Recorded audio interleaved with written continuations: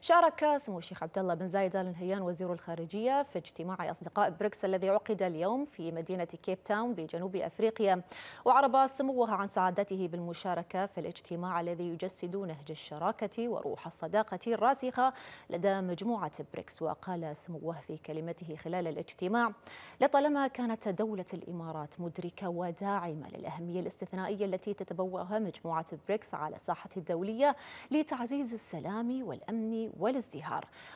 سمو الشيخ عبد الله بن زايد ال نهيان أنه كجزء من عالم اليوم الساعي للتعددية بعيدا عن أحادية النهج والفكر والإيديولوجية. لابد أن تستمر مجموعة بريكس في تطوير منظومتها المؤسسية وتعزيز بصمتها العالمية الداعمة للاقتصادات النامية والصاعدة. ومن هذا المنطلق فإننا في دولة الإمارات ندعم توجه مجموعة بريكس لتوسيع قاعدة عضويتها.